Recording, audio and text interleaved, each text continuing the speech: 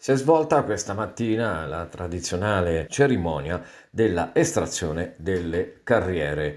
Ad aprire la giostra toccherà a Porta Crucifera, secondo posto a Santo Spirito, terzo a Porta Sant'Andrea e quarto a Porta del Foro. Grande partecipazione di pubblico nonostante le misure di sicurezza imposte dalla pandemia. Ascoltiamo il commento dell'assessore Simone Chierici del comune di Arezzo. Sì, diciamo che stamattina è andato tutto bene, ora è chiaro che il banco di prova è domenica prossima, quindi questa era, era una mini prova, però diciamo che i quartieri si sono responsabilizzati, stanno, stanno, dando un grosso supporto al mantenimento delle condizioni di sicurezza, quindi confidiamo molto anche sul loro apporto.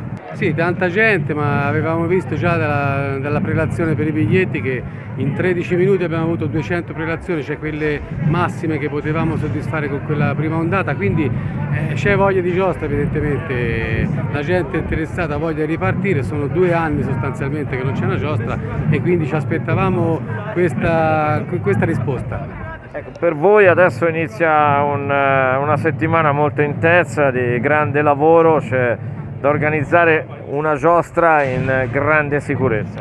Sì, diciamo che più che inizia la settimana continua la settimana perché già, è già da tempo che dietro la giostra c'è tanto movimento e tanto lavoro, eh, a partire dagli uffici dell'ufficio giostra, dalla fondazione, dal consigliere Pertini, quindi mh, è impegnativo mettere in piedi una giostra in queste condizioni e anche con tempi ristretti. Per ora sta andando tutto bene, incrociamo le dita e aspettiamo domenica sera.